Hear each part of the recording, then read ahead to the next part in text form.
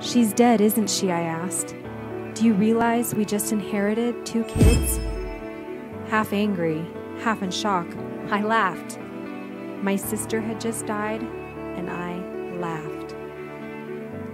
When life throws you in the mud, plant yourself and grow.